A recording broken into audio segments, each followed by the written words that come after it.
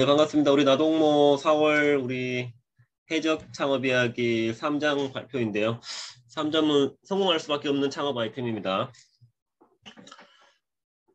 이번 장 내용도 굉장히 좋았었고요. 어쨌든 해적 창업에 대한 조건이 나오죠. 네 가지가 나오는데 어, 다섯 가지군요. 선매출, 누구나 영업 대상, 비주류 시장, 단순화, 사람에 대한 투자. 저도 이 선매출이라는 게 굉장히 뭔가 insight가 있었어요. 그 전까지는 뭐 선매출이라는 거를 이런 개념을 몰랐죠. 항상 제가 뭐 직장 다니도 다 제조다 보니까는 어떤 많은 공장에서 뭐 인력과 장비를 들여서 물건을 만들어 놓고 이제 판매를 하고 판매가 안 되면은 재고 부담에 그런 제반 비 굉장히 많이 들었었죠. 그게 당연히 일, 반적인 줄 알았어요. 물건 쌓아놓고 파는 거. 근데 그게 다 고정비 유지비였잖아요. 근데 이제 버터플라이를 통해서 이제 선매출이라는 개념을 깨달았죠. 모든 사업은 선매출이 가능하고 이게 또 장점이 고객에게 미리 돈을 받았기 때문에 돈을 받으면 또 고객을 만족시키기 위해서 노력을 할 수밖에 없는 환경이 되는 거죠. 어, 굉장히 인상적이었어요. 깨달은 것은 역시나 이 환경을 만드는 게 중요하다. 환경은 내가 만드는 거다. 이렇게 했을 때 어, 정말 어쨌든 성장할 수밖에 없는 장치를 만드는 거죠. 미리 돈을 받았고 또 그 돈으로 사업을 유지하고 상품을 판매하는 것들. 어, 그 제조 이런 분야는 조금 리스크다는 걸 많이 느꼈어요. 뭐 지금 우리가 하는 거 강의, 뭐 책 쓰기 다 선불이죠. 다 돈을 받은 뒤에 강의를 하는 거잖아요. 이거의 장점은 파이어스 리스크가 되게 부담이 적은 것 같아요. 그죠? 재고가 또 필요 없으니까는. 그 적용한 거는 어떤 뭐 생각을 계속 환경에 의지하는 게 아니라 내가 이제 환경을 만드는 사람이 되자 그리고 환경을 바라보는 관점이 중요하다 이런 것들을 많이 느꼈습니다.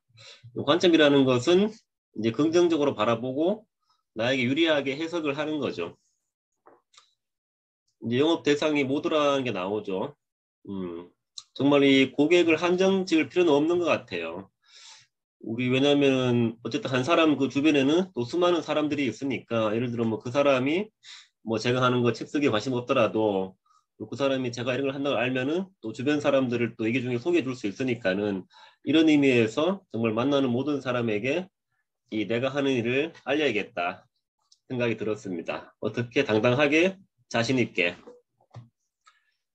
그리고 비주류 시장 뭐 얘기들 많이 하는데 정말 공감 되더라고요. 우리 모두가 다 하는 특히 큰 업체들이 하는 그런 시장은 굉장히 경쟁이 치열하죠. 또 이게 돈 논리가 적용되기 때문에 우리가 1인 기업들이 그 시장에 뛰어들어서 경쟁을 한다는 것은 굉장히 무모하고 이 무자본 창업 시장이 아닌 것 같아요. 남들이 하지 않는 시장에서 별로 공급이 없는 서비스를 하자 이런 게 나왔었죠. 깨달은 것은 정말 이 다수를 만족시키려면은 굉장히 많은 에너지와 인력이 들기 때문에 우리 1인 기업에는 맞지가 않다. 그래서 못하는데요. 소수를 만족시키면서 그 소수를 늘려가자. 이런 생각을 깨달았고 역시나 이 비주류 시장의 처음 고객은 내가 되는 거죠. 이 내 사업의 고객은 나라는 게 되게 중요한 관점 같아요. 일단 이 내가 하는 사업이 나에게 필요한 것을 해야지만 지치지 않을 것 같아요. 적용할 거는 역시나 모두를 만족시키는 마음을 버리고 또 이게 어떤 일을 하든 이게 사람 스트레스가 올 수 있기 때문에 가급적이면은 나와 좀 결이 맞는 사람들을 내 고객으로 만들자. 내가 편한 사람들. 예. 어, 그래야 이게 나를 위한 사업이 되고 또 고객을 위한 사업이 되고 내가 성장할 수 있는 사업이 된다는 생각이 들었었고 오늘 문득 드는 생각이 우리 나연구소의 장점 생각하다 보니까는 이게 지속이라는 단어가 또 오더라고요. 지속 꾸준함.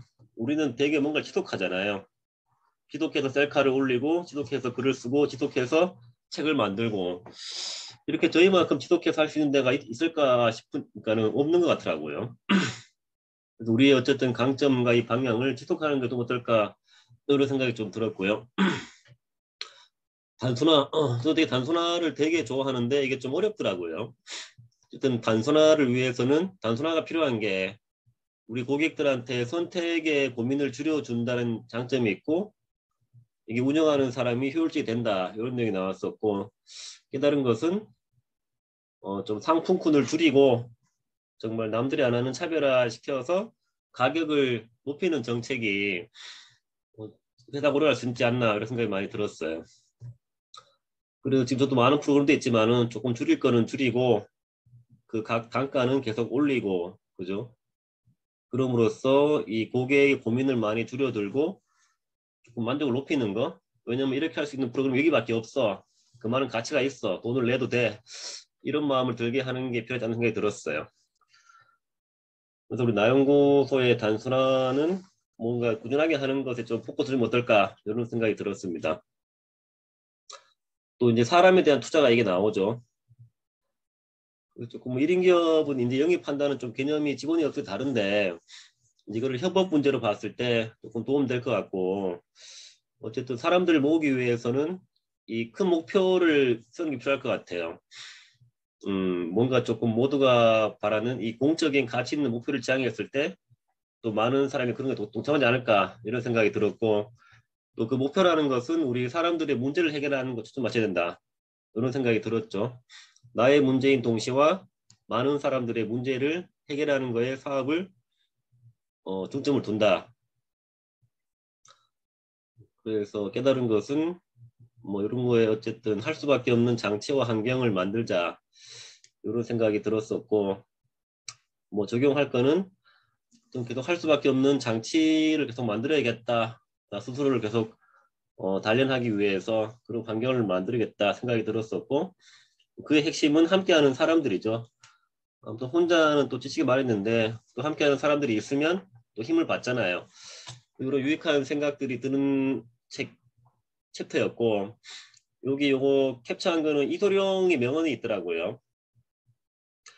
인간은 쌓아가는 게 아니라 날마다 없어가야 한다라고 되어 있죠. 날마다 늘어나는 게 아니라 날마다 줄어드는 것이다. 수련의 최고 단계는 항상 단순함으로 귀결된다 말 귀결된다. 이 말이 되게 공감이 되고 또 늘 연구하는 어, 그런 분야입니다. 단순함으로의 귀결. 여러분 단순하게 삽시다. 감사합니다. 네, 발표하겠습니다. 어, 저는 해적 창업 아이템 조건이 한 3개인가 4개인가 나왔는데 그 중에 어, 157페이지에 나온 즉시 매출 발생에 대해서 어, 좀 느낀 바가 있었어요.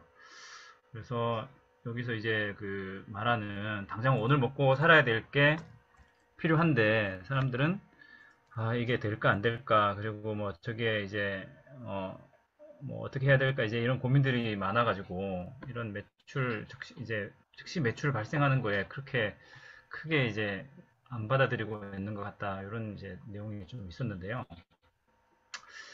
어, 여기서 제가 근데 적용할 거는 사실 못 찾았어요.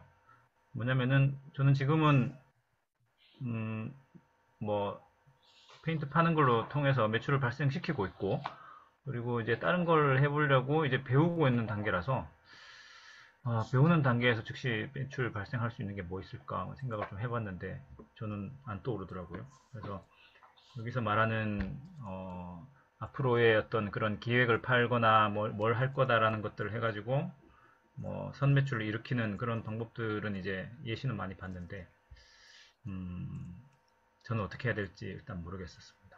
네. 그리고 두 번째 단순화에 대해서 적혀 있었습니다. 단순화는 어, 단순하기 때문에 고객들이 더 좋아하고 그리고 고객이 해야 될 고민을 줄여주고 결과적으로는 이제 회사도 효율적으로 운영할 수 있게 해주기 때문에 어, 단순화 전략이 꼭 필요하다 이런 얘기가 있었거든요. 이 얘기가 굉장히 음, 공감이 많이 됐고요. 그래서 저도 이제 심플한 걸 좋아하고 단순한 걸 좋아하고 하는데도 불구하고 뭔가를 하려고 그러면 좀 복잡하게 생각하는 게 좀 많이 있는 것 같아요. 그래서 많이 정리도 해보고 한데 이걸 보면서 다시 한번 느꼈습니다. 어, 역시 단순한 게 좋다. 복잡한 거는 사람들이 많이 어, 싫어하고 어, 그리고 복잡할수록 뭔가 이제 모르기 때문에 이렇게 복잡하게 가는 거다. 많이 알면 많이 알고 경험이 많으면 많을수록 단순하게 가더라 이런 생각이 좀 들었습니다. 그리고 이제 다른 요즘 이제 다른 사람들 블로그 올린 것들 많이 좀 올, 이제 들어가 보고 있는데 어, 막 그 차이점이 많이 보이더라고. 어떤 분들은 정말 깔끔하게 주제가 명확하게 드러나게끔 포스팅을 하시는 분들도 있고, 어떤 분들은 들어가 보면은, 아, 정말 이 뭘 얘기하는 건지 잘 모를 정도로 너무 산만하고 막 이, 이, 이것도 막 나와 있고 저것도 나와 있고 뭐 링크도 뭐 엄청나게 많이 붙어 있고 막 그러다 보니까 야, 이뭐뭘 얘기하는지 모르겠다 싶을 정도로 뭐 이렇게 쭉쭉 내리다 그냥 끝나버리는 포스팅도 있고 막 그렇더라고요. 그래서 그런 것들 보면서 아, 음, 나는 그러면은 어떻게 글을 써야 되겠구나, 어떻게 포스팅을 해야 되겠구나 이런 것들도 좀 느껴지더라고요. 그래서 진짜 어, 너무 심한 분 한, 너무 심한 분은 밑에다가 좀 비밀 댓글로 좀 남겼어요. 음, 예, 이렇게 하면 좀 좋을 것 같 다라는 약간의 뉘앙스로 예, 제가 이렇게 열심히 집중을 집중을 이렇게 하려고 봤지만은 너무 그 광고도 많고 뭔가 이렇게 이때까지 자기가 쓴 글들에 대한 어떤 링크가 내부 링크도 너무 많고 이래가지고 도저히 이 진짜 뭘 얘기하는 건지 찾을 수가 없을 정도였었어요. 그래서 비밀 댓글도 좀 남기고 그랬더니 뭐 음, 고맙다는 얘기도 있고 했는데 아무튼 음, 그런 생각이 들었습니다. 그래서 타산지석으로 삼고 나는 좀 어떻게 좀 단순하고 심플하게 해야 될까 이런 생각도 좀 들었어요. 그 다음에 음, 이거는 이제 누구나 영업 가능한 아이템을 선정을 해야 된다 라고 얘기가 돼 있어서 여기 어, 저도 처음에 좀 그랬어요. 그 어, 이때까지 저희가 타겟을 좁혀야 된다는 얘기를 많이 또 듣다 보니까 어, 이 얘기가 또 정반대 얘기인가 싶었는데 그렇지는 않은 것 같더라고요. 상충되는 것은 아니고 타겟을 좁히긴 좁히지만 타겟 좁히는 거하고 상, 그 상관없이 누구한테나 이게 어, 영업이 가능한 아이템이라는 거를 어, 알아야 된다. 그러니까 알려야 된다. 그러니까 이, 이, 아이템이 누가 필요한지 모르고 어쨌든 고객을 도와주는 아이템이 되, 돼야 되기 때문에 어, 언제나 이렇게 얘기할 수가 있고 필요한지 안 한지 이런 것들을 미리 예단하지 말고 어, 이야기할 수 있어야 된다 이런 얘기를 보면서 음, 저도 뭐 이제 사업을 이제 창업을 그 아이템을 준비하고 있는 입장에서 네, 너무 국한적으로 생각하지 말자라는 생각이 들었어요.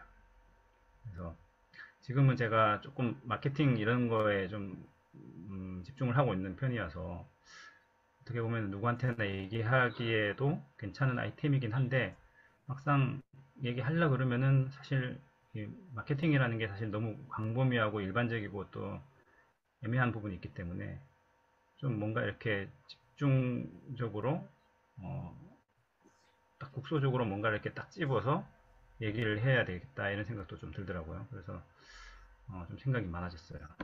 그래서 여기서 나온 것들이 지금 3장이 제목이 뭐였더라? 그 실패할 수 없는 뭐 아이템이었나 그랬 잖아요.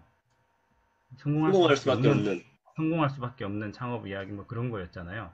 근데 저는 이 3장 읽으면서 좀 약간 아, 조금 뭐라 그래야 되나? 약간 좀 뜬구름 잡는 이야기도 좀 많았고, 그래서 뭔가 이제 마인, 마인드 이런 세팅 측면에서 얘기를 많이 해주신 것 같은데, 그거에 따라서 내가 뭘 해야 될지는 구체적으로 뭐가 이렇게 딱 잡히지는 않았던 것 같습니다.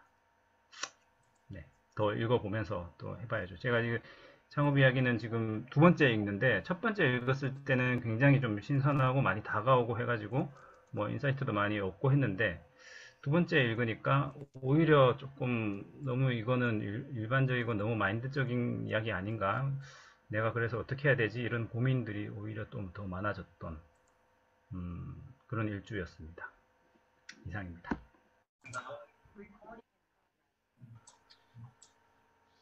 네, 이거 제가 제가 쓴 건가요? 네. 아, 그럼 제가 그 아까 저는 즉시 매출 요거 1장에 에서 말씀드릴 건데요. 예, 즉시 매출은 계속 얘기해왔던 부분이라서 여기서 그 중요한 거는 안 된다는 고정관념이랑 부족하다는 고정관념 때문에 즉시 매출을 못 일으킨다 뭐 이런 이런 것 같아요. 그래서 바다에서 내가 원하는 목표 달성 예 만약에 어 그 그런 얘기가 나오거든요. 내가 해적인데 저 배를 가까이 가지도 않고 그냥 판단하고 아 나는 이제 해적을 안 하는 거예요. 그러면 그 사람은 계속 못 하는 거예요. 그 해적 보, 보물 찾기를. 그런데 내가 가까이 가서 예, 다가가서 용기를 내서 그 배를 예, 살펴보고 그다음에 그 배에 가서 이제 뭐 직접 보며 보아서 도전해 보면 그래도 뭐라도 얻고 얻, 얻으니까 그 다음에 무트로 갈 수 있는 거거든요. 그 얘기가 저는 되게 마음에 와닿았었어요. 그래서 예 지나가는 배를 그냥 지나치지 말고 예그 배가 어떤 배인지 살펴보고 도전해보고 예 살펴봐라 그런 게 되게 마음에 와닿습니다. 안 그러면 나는 무트로 못 간다. 계속 바다에 떠돌게 된다. 뭐 그런 거. 그래서 이게 제목이 그래서 해적들의 창업, 음, 해적들의 비교를 이렇게 잘 했구나라는 생각이 들고요. 여기에서는 근데 제가 어, 이 책을 독서 모임을 하면서 많이 이제 요번 주에 특히 느낀 거는 책을 읽을 시간이 없다라기보다는 책 읽는 게 뒤로 밀리니까 예, 이게 독서 모임을 잘 못하게 되는 것도 계속 이렇게 왔던 그런 고질적인 거였는데 그거를 좀 바꿔봤어요. 그래서 지하철에서 일부러 갖고 다니면서 예, 서서도 읽고 앉아서도 읽고 해서 몇 쪽이라도 읽어보자 이래갖고 요번에는 좀 읽었거든요. 음. 예, 근데 그러다 보니까 또 이 책이 좀 무거워갖고 가방이 또 되게 무겁고 허리도 아프더라고요. 요거 하나 갖고 다녔다고. 아 그래서 그래도 그러니까는 좀 하더라고요. 그래서 제가 또 이번 독서 모임 이번 주에 느낀 거는 그래서 짬짬이 해야 되겠다는 생각이 들어요. 시간을 일부러 내서 하기에는 너무 힘들고 예 그래서 짬짬이 예 의식적으로 그러, 그렇지만 의식적으로 예, 내가 의식을 안 하면은 안 하게 되더라고요. 그래서 꼭 하자라는 의식은 갖고 있는데 시간은 별도로 내지 말고 그러면 짜투리 시간을 이용해서 해보자라는 생각이 들었었거든요.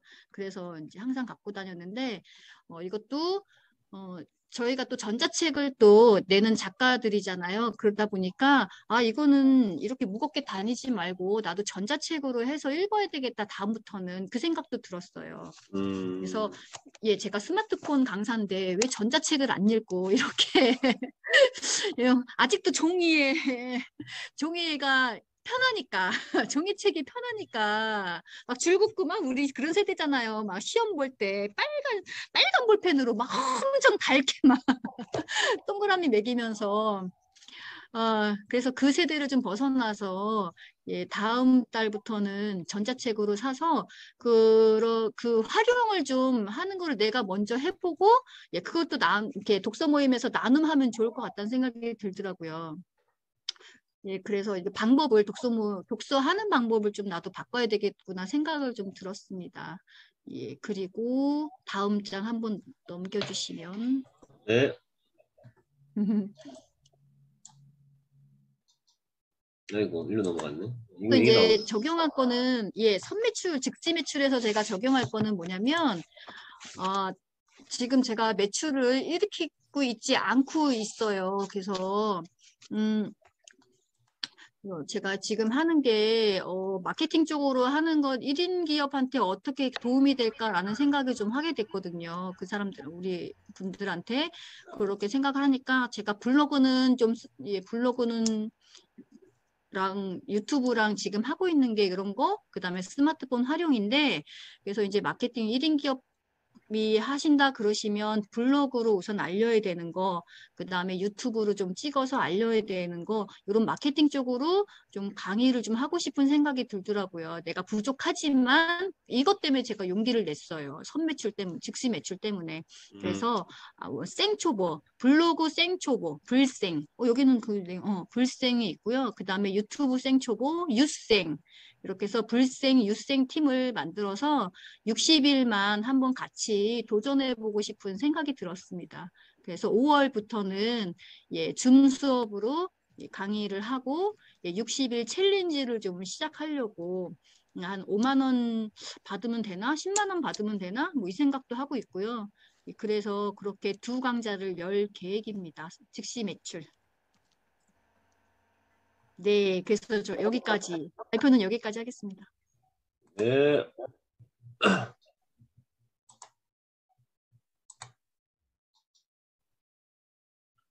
네. 어, 윤 잠깐만요. 대표님, 윤 대표 저는 이제 151페이지에 바다에서 돌아오는 시간은 정해져 있지 않다. 원하는 목표를 달성하고 오늘을 버틸 수 있는 자원을 확보할 때 요게 확 들어오더라고요.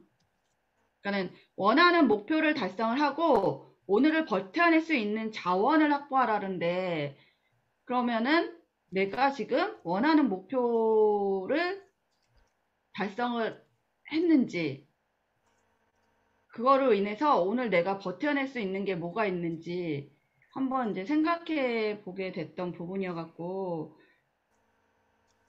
시간이 정해져 있지 않기 때문에 그 정해져 있지 않은 시간을 가지고 제가 지금 할 수 하고 있는 것들을 하나하나 지금 만들어 가는 부분을 또 새롭게 만들어 가야 되는 것들이 있어서 요즘에 이제 이것저것 이제 해야 될 것들을 정리하고 있는 중이긴 한데 이게 확 들어왔던 게 그런 것 같아요. 자꾸 뭔가 새로운 게 나오면은 그거를 해야겠다는 욕심이 자꾸 생기는 거예요. 한번 해보고 싶고, 아, 이거 나도 이렇게 한번 다시 저기 해서 이거를 연결해 가지고 뭔가를 할까? 이렇게 생각하다 보니까 지금 해야 될 것을 놓치는 부분도 있는 거죠. 지금 당장 해야 될 것을. 많은 것들을 가지려고 하다 보니까. 그래서 내가 딱 목표치를 세웠을 때, 내가 원하는 목표치를 세웠을 때, 그 목표치를 향해서 지금 하고 있는 일이 어느 정도 선에 왔는지 재점검을 해야 되겠구나라는 생각이 들더라고요. 그 자꾸 이제 대표님한테 그림책 이거 빨리 언제 해요? 3개월 동안 손가락 빨고 있어요. 막 그렇게 말을 하면서도 그런 불안함이 있었던 것 같아요. 일을, 이 일을 해야지 재밌는, 재밌는데, 이거 외에 다른 거를 하고 있으면 그 다른 거를 함으로 인해서 내가 이 일이 조금 도태되지 않을까? 라는 생각도 하는 거죠. 순간 이제 확 겁도 났던 게 뭐냐면은 그냥 쉴 땐 쉬면 되는데 아 일을 못해 일을 안, 해, 안 해야 되는 불안감이 있나? 라는 생각이 드는 거예요. 누가 옆에서 이제 그런 말을 하더라고요. 은미야 너 일에 미친 사람 같아 라는 소리를 들었을 때 내가 왜? 라고 대답하면서도 순간 이렇게 생각을 해보는 거예요. 음, 진짜? 아침에 나와서 저녁에 들어가는데 밤에, 새, 밤에 들어가는데 내가 피곤함을 모르고 이렇게 할 수 있는 게 뭐지? 라는 생각이 들더라고요. 근데 보니까는 어쨌든 그림책 만드는 일을 하면서 재미와 즐거움을 느끼니까 계속 이제 이렇게 되는데 그거를 못하고 있는 거지 지금 강의를 많이 다른데 나가도 그림책 만들 그림책 이렇게 그림책 만들기 수업을 해야 되는데 그 수업이 지금 조금씩 조금씩 지금 몇 달이야? 두 달인가를 요번에 이제 자격 과정 하면서 또 다시 해가지고 다시 제가 이렇게 확 올라오긴 했는데 기분이.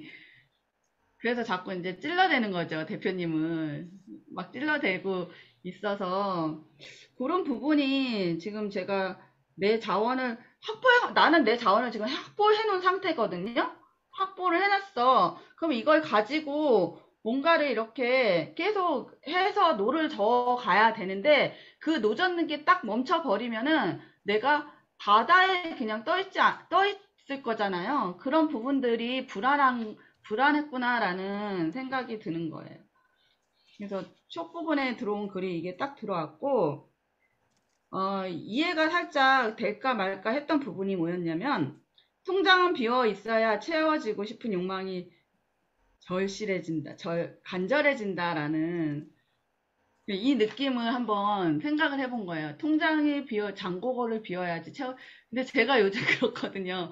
통장에 잔고는 자꾸 자꾸 주는데 대표님이 자꾸 광고를 안 해. 일을 안 줘. 죄송해요, 대표님. 그냥 비유하자면, 비유하자면 그런 거예요. 괜찮아요. 그런 거죠. 네. 그래갖고, 그게, 아, 이 말도 맞구나라는 생각이 드는 게 통장 잔고가 채워지면 그러니까 반반이었던 거죠. 이해가 안 갔던 게 그 무자본으로 창업을 하고 돈 없이 창업을 하고 앞, 앞쪽에 이제 나왔는데 그러면 통장 잔고가 비어 있으면은 지금 내가 하는 일, 우리 강사들이 그렇잖아요. 강의를 하고 돈을 받아서 통장을 채워, 통장에 돈이 들어와서 그렇게 채워지는 그 과정이잖아, 과정이 있잖아요. 그러니까 그런 것들이 제가 이제 작년, 재작년부터 막 강의를 하면서 계속 쉬지 않고 일을 했을 때 그게 이제 채워진 거잖아요. 통장의 잔고가 채워지는 거잖아요. 아, 이거를 제가 몰랐던 거죠. 이 느낌을, 이 말을. 근데 이 책에서 오늘 보면서 그 느낌을 좀 채워나갔던 것 같고, 어, 내가 하려는 사업에, 사업에는 적용이 안 될 것이라는 고정관념을 가지고 있기 때문에 뭔가를 발견하지 못한다는 거는 100% 제가 공감, 이 말에 너무 100% 공감이 가는 거예요. 음. 내가 하려는 사업에 적용이 이건 상관이 없어. 어, 내가 이걸 굳이 왜 해야 돼? 이런 생각을 많이 했던 것 같아요. 예전에도 그렇고. 근데 그 고정관념 때문에 내가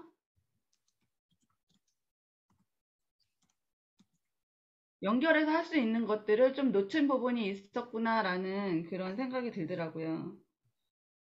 그러면서 여기에 나온 말이 뭐냐면 맞춤 정장은 옷이나 옷이 나오기 전에 미리 대금을 결제한다. 그러면은 음, 내가 하려는 사업에 적용할 수 있는 것들 이 적용이 안 된다는 것을 생각하지 말, 말아야 되는 거죠.